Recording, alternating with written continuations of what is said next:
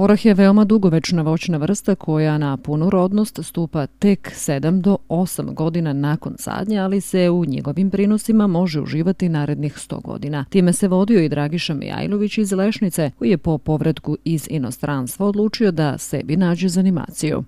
Savjetovali smo neki ljudi, čak i, pošto sam radio dosta godina u Švajcarskoj, i, ovaj, i tamo imam prijatelje švajcarce koji su zasadili Chandler i posavjetovali su me i rekli su da je on daje velike doprinose. A pošto sam već penzioner, onda sam se odlučio da, da imam svoje zanimanje i da, da, se, da se okupiram oko nečega da, da izbjegnem dosadu. Da, Orah se prostira ovde na jednom hektaru, je Na jednom tako? hektaru, da. Rekao ste vi supruga uglavnom e, sve Da. poslove obavljate. Da, da. Ima li puno posla oko oraha? Pa ima, ima. Što Ima. znači? Nije, nije kao vinograd, ali, ali ima posla. Ima, najviše ima oko košenja. Ovo preko, preko godine. Jel, ako dozvolite da korov izraste velika, onda tu su insekti, tu ima svašta tu, onda morate da, da vodite računa o tome.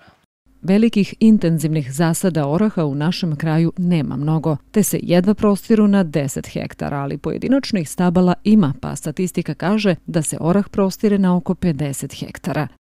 Dugo se smatralo da je to biljka koja treba sama od sebe da raste, kada rodi, rodi, kada ne rodi ništa i tako. I, i dan danas malte ne u, u narodu, u stanovništvu vlada takvo mišljenje, međutim e, to nije tako. Ozbiljna proizvodnja oraha zahteva kompletnu agrotehniku i sve mere agrotehničke i pomotehničke počevo od e, pripreme za sadnju pa do kraja plodonošenja.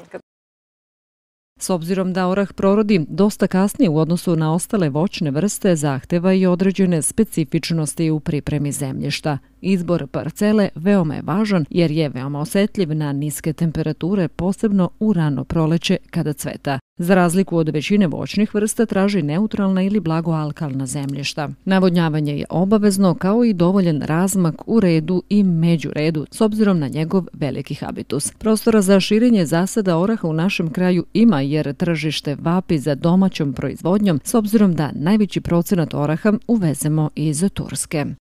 Dodatnim orah. Prosto sam sigurna i za lešnik i za, i za orah da naši domaći proizvođači mogu, imaju prostora za, za gajanje tih kultura, da postoji potreba jer e, preko 90% plodova mi uvezemo. Dakle, prostora ima, samo to treba da budu intenzivni zasadi, redovan prinos, kvalitet plodova, znači izbor sorata, uglavnom se na tržištu traže sorte koje su svetlije boje ploda, a tu upravo spada i, i Chandler. I to je važno za tržište.